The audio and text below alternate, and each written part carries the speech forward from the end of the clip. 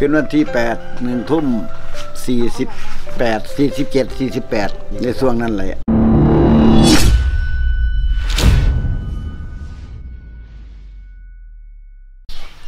สวัสดีครับผมวันนี้อยู่กับผมนะฮะพี่เสือมาแล้วครับผมวันนี้เนี่ยเออเรามาอยู่กันในช่วงใหม่นะครับคือเสืออยากช่วยนะครับ ผมก็คือที่จังหวัดสุรินทร์นะครับ ผมอยู่ที่อำเภอรัตนบุรีนะครับ ผมก็คือตำบลดอนแรดได้เกิดเหตุการณ์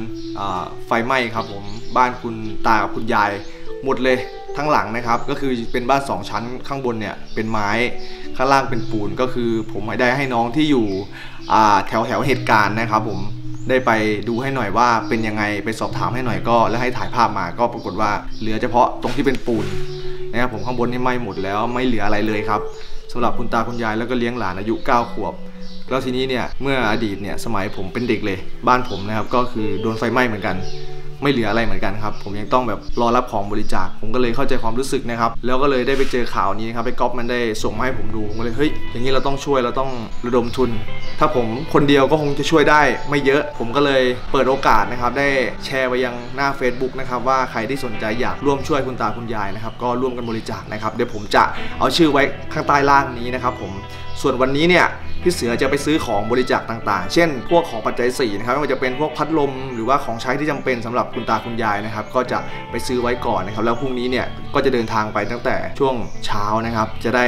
ทำอะไรให้มันเสร็จสับนะครับ ได้ไปช่วยนะครับ วันนี้ก็ขอไปซื้อของก่อนครับ เดี๋ยวเรามาดูกันครับว่าจะมีอะไรบ้างนะครับ แล้วพี่เสือจะแจ้งชื่อทุกคนนะครับ ไว้ที่ใต้คลิปนะครับ ใครบริจาคอะไรเท่าไหร่นะครับ ผมนะไม่ว่าจะเป็น 80 บาทก็มีนะฮะ ดีมากขอบคุณทุกคนเลยไม่ว่าจะเป็นหลัก 10 หลักร้อย หลักพัน หลักหมื่น หลักแสน หรือจะกี่บาท เพียงแค่เราแบบว่ามีจิตใจที่จะช่วยก็ได้บุญแล้วครับผม ไป งั้นวันนี้เดี๋ยวเราไปซื้อของกันครับผม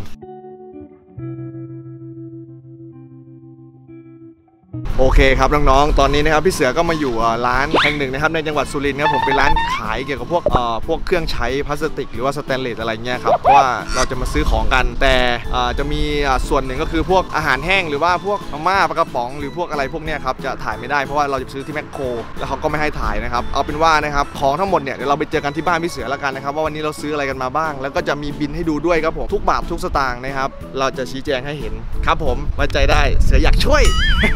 เอาง่ายๆก็ไม่ได้เป็นคนแบบว่าอ่ารวยหรืออะไรแต่เขาเรียกว่าไง เอาเป็นว่าผมเป็นอีกระบอกเสียงที่แบบเอาไว้ช่วยคนละกันโอเคนะครับ แต่ว่าไม่ได้มีเงินเยอะนะ แต่ว่าเราช่วยๆกันนะผมไปเดี๋ยวเราไปซื้อของกันก่อนนะครับบ๊ายบาย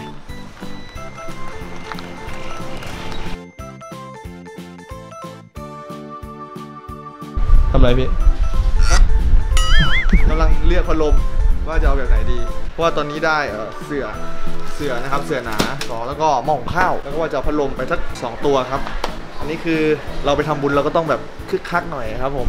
ให้เราทำความดี แต่พอไปอยู่ตรงหน้ายายกับตาแล้วก็คงจะเศร้าคือคักไม่ได้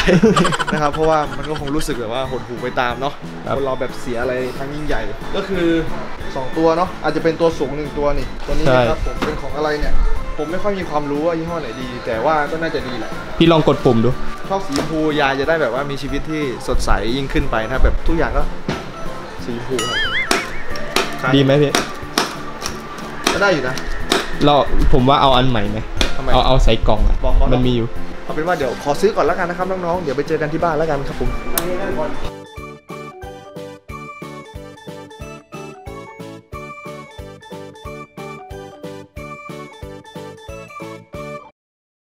โอเคครับน้องๆนะครับ วันนี้ก็เป็นอีกวันหนึ่งนะครับที่เราจะเดินทางไปยังรัตนบุรีนะครับผมทีนี้เนี่ยผมจะบอกนะครับเมื่อวานซื้ออะไรเสร็จไปบ้างนะครับ ก็พวกที่นอนกระติกน้ำอะไรเงี้ยคือของที่เอาไว้ใช้จำเป็นนะครับ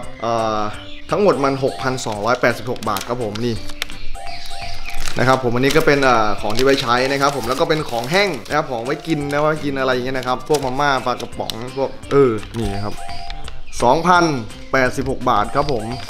รวมๆแล้วเนี่ยก็ประมาณ 8,000 กว่าบาทนะครับ แล้วก็เงินบริจาคทั้งหมดเนี่ยที่น้องๆ เพื่อนๆ ได้บริจาคเข้ามาเนี่ยก็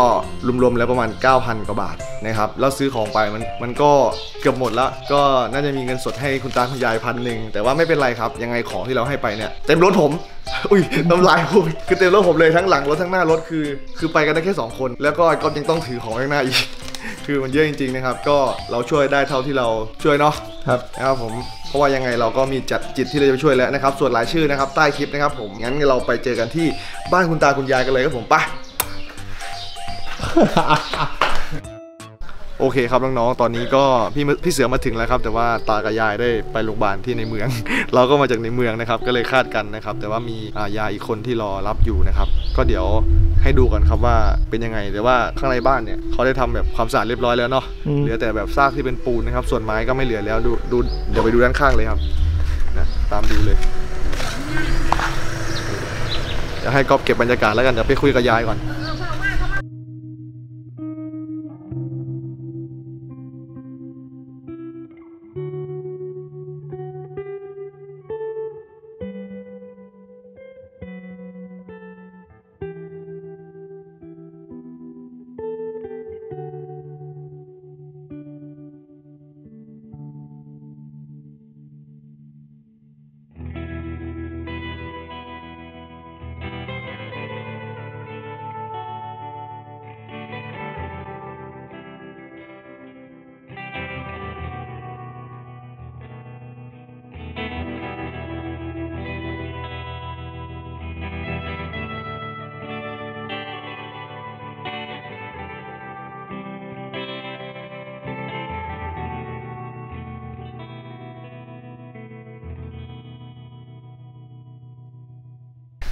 เดี๋ยวเรามาเอาของลงครับผมก็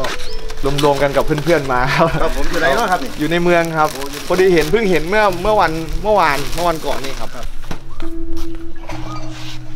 แล้วก็เป็นพัดลม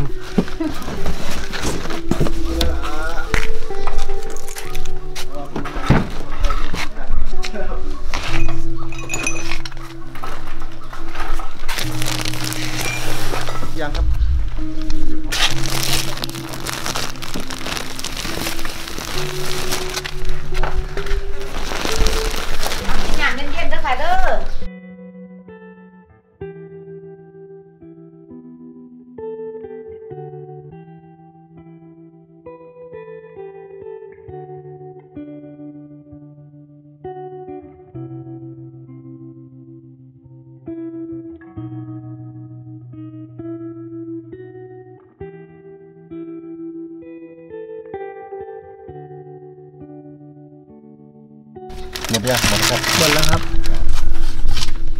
เอาเอาเดี๋ยวรอตากับยายมา เป็นลายลักษณ์อักษรให้พ่นหมายว่าหน่วยงานไหนผมจะได้แจ้งให้อ๋อผมเป็นแค่แบบว่าเปล่านี่อเด้ยู่ในเมืองกันนะครับรวมแบบนั่นแหละอยากอยากอยากอยากรู้เวลานั่นก็จะได้อ๋อเวลามีคนมาถามจะได้เล่ารายละเอียดให้เขาฟังถูกอ๋อต้องจริงๆเป็นเป็นแค่แบบรวมตัวกับเพื่อนมาเฉยๆ คือเหมือนเป็นตัวแทนมาจากแบบว่ากับเพื่อนนะครับ ไม่ได้เป็นแบบหน่วยงานราชการเลยนะครับครับอยากอยากได้ชื่ออยากได้ชื่อจะอ๋อได้ได้ได้ครับ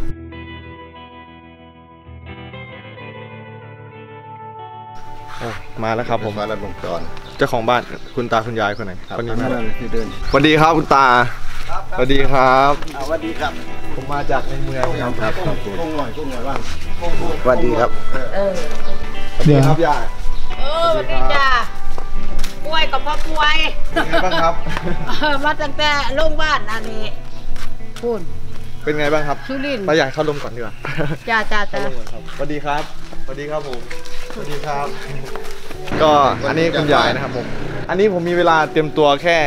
วันเดียวครับ ผมผมรู้เมื่อวานก่อนแล้วเออ แล้วเมื่อวานนี้ก็เลยรวบรวมกัน แล้ววันนี้ก็มา ครับผม คือมีแค่แป๊บเดียวก็เลยครับ ได้ประมาณนี้ นี่แหละนี่แหละคนไทยไม่ทิ้งกัจะนพูดเนาะละลาหลายละจำใจยางหลายเลย ก็เดี๋ยวไปรับกระดาษคุณยายมามามามารับโอ้ตอนไม่นี่ไม่มีคนอยู่แล้วครับ นี่อยู่จ้าอยู่ท้อง อันนี้ก็คือแบบว่ารวมตังค์กันพวกผมก็รวมรวมตังค์กันคนละนิดคนละหน่อย แล้วก็จ้าจ้าเลยแบบไปเลือกซื้อของแล้วก็ถ้าตังค์เหลือก็มอบให้แต่ว่าก็เหลือไม่เยอะแล้วครับ ครับครับครับครับครับบอยูอย่างนี้ถือว่าน้ำใจสูงสุดเลยแหละครับครับผมอันประเสริฐอย่างอย่างนั้นก็ได้ช่วยครับผมครับช่วยกันครับโอเคครับนี่ก็คุณตาคุณยายนะครับ ก็มันเหลืออยู่เนี่ยครับ อันนี้เป็นเงินพันห้าครับผมตั้งใจมาช่วยแล้วเพราะว่าผมเคยโดนเหมือนกันตอนตอนเด็กที่บ้านผมก็โดนไฟไหม้เหมือนกัน ไม่เหลือเหมือนกันครับใช่ก็เลยเข้าใจครับ แล้วก็อันนี้เป็นพวกของใช้น่าจะช่วยได้บ้างครับของเครื่องครัวแล้วก็ครับผมครับครับก็ถ้าเกิดว่าคืนนี้เนี่ยผมจะเอาไปลง YouTube ให้ด้วย ก็เลยถือโอกาสถ่ายลงให้เขาได้เห็นครับผมก็เดี๋ยวผมจะเอาเบอร์น่าจะเป็นเบอร์โทรศัพท์แล้วกันนะครับ ก็คือสำหรับแบบว่าคนที่อยากมาช่วยอีกอะครับใช่ก็เดี๋ยวเอาเบอร์ใครไว้ได้บ้างครับ เบอร์คุณพ่อเบอร์คุณพ่อครับก็เดี๋ยวผมจะครับผมเดี๋ยวพี่จะใส่เบอร์ไว้ข้างล่างนะครับ ใครที่อยากช่วยคุณตาคุณยายนะครับ ก็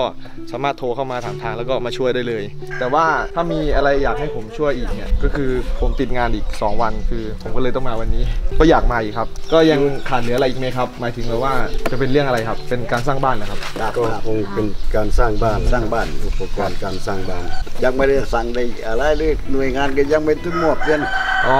แล้วมีหน่วยงานเข้ามาช่วยกันแล้วใช่ไหมคครัรับบมีอยู่ครับมีพวกกาชาติมั่งเป็นพวกเองอืมอบตหมู่บ้าน ผมว่าเข้าร่วมก่อน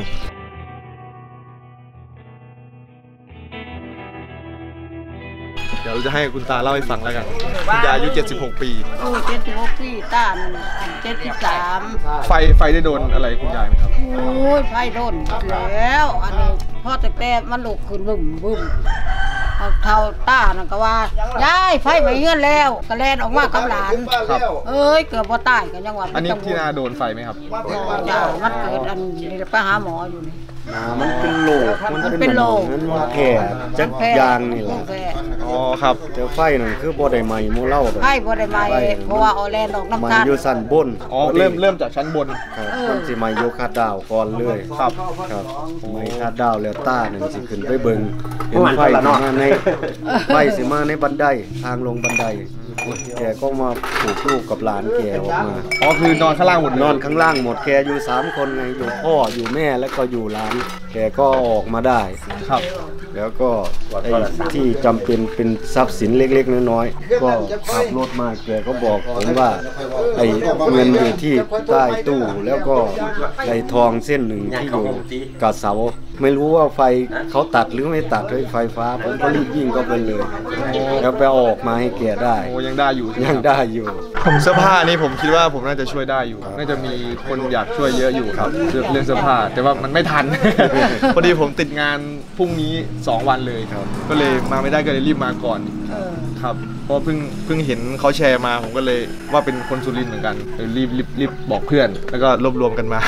เออใช่ถ้ามีเวลานานกว่านี้น่าจะ พอได้มากกว่านี้อยู่คครัรับบเดี๋ยวให้น้องถามคุณตาเรื่องเหตุการณ์นะครับ ให้คุณตาเล่าเจอขึ้นขึ้นวันที่แปดขึ้นวันที่แปดหนึ่งทุ่มสี่สิบแปดสี่สิบเจ็ดสี่สิบแปดเริ่มแรกเห็นอยู่ไหนเนี่ยเริ่มแรกกัดนอนหลับไปแล้วในเราจักโอ้บ่ถึงสามนาทีดอกเสือบจังหน่อยเพิ่งหลับได้แป๊บเดียว ครับบันนี้ย้ายเลยปลุกได้บ่ได้รับย้ายบ่ได้รับดังปุงปังปุงปังยายก็เลยว่าโอ้ยทำนี้เอ้ยเสียงอีหยังดังลุกขึ้นแน่ แล้วลุกขึ้นไปเบิ่งหยังมันหุงหมันแล้วขึ้นไปบนบ้านนั่นไปเห็นไฟน่ะมันกำลังใหม่อยู่ในโต๊ะคัดเราอยู่เลย ครับ พอแนมเห็นกลับมาลงมาทั้งพื้นมาดึงตาโอ้ดึงยายกับหลาน ไฟใหม่ไฟใหม่ยายว่าสั่นเปิดประตูบ้านสุกออกมาบ้านหลังนี้ บ้านนี้หมู่เขาก็แล่นมาพวกผู้ซอยผู้หยังนี่ล่ะลูกหลานมาซอย มันก็เข้าใกล้บ่ได้แล้ว มันก็มายืนอยู่แต่หน้านี่หน้าบ้านมันก็ธรรมดาแล้วแล้วก็บ่ทันเลยรถก็บ่ได้บรรจุน้ำให้แม่นบ่สุกเสริญคนก็บ่ได้เตรียมพร้อมคือว่าล่ะคือเราเราเราแจ้งรถแต่ว่ารถน้ำยังไม่พร้อมด้วย ครับ เออเขาเอาอันนี้ที่ใส่บ้านหลังนี้อยู่กั้นไว้แต่บ้านหลังเคียงข้างแล้วปกติไม่ได้นอนข้างบนบ่ นอนข้างล่าง ถือว่าถือว่าโชคดีเนาะอันนี้ก็เหลืออะไรบ้างครับที่แบบพอยังใช้ได้ ได้อยู่ครับได้อยู่พวกเงินทองก็ได้ขึ้นส่วนเสียส่วนก็บ่หลายผมยื่นเท่าไหร่ครับตู้เย็นโทรทัศน์นี่ก็ได้ตู้นี่มันตู้หกหลังมันก็ได้เท่านี้ตู้หกหลังได้ดีตัวนี้ก็สองอันนั่นก็เสียแล้วนี่ตัดแน่นั่นก็บ่ได้จ้ะ โอเคก็เดี๋ยวขอชื่อคุณตาคุณยายแล้วก็อายุด้วยครับพ่อพิมพ์ผ้าแกนซิลิเกิดเกิดปี2489นี่มัน70เท่าไหร่วะ73เนาะอันนั้น2486อะคุณยายครับคุณยายชื่ออะไรครับ ชื่อแม่วันดีแม่วันเป็สิริแม่วันดีแก่นสิริจ้ะอายุอายุ อันนี้หกอ้วนเจ็ดสิบหก76นะครับเป็นพี่ตา